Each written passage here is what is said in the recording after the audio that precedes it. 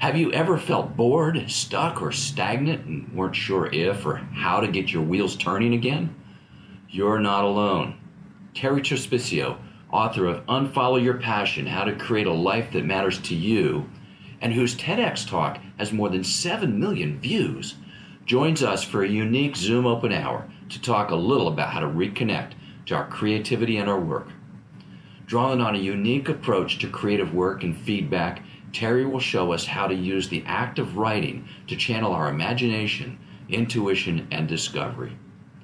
Prepare to be enchanted with yourself and with your counterparts as you write and share your work in a fun, judgment free environment.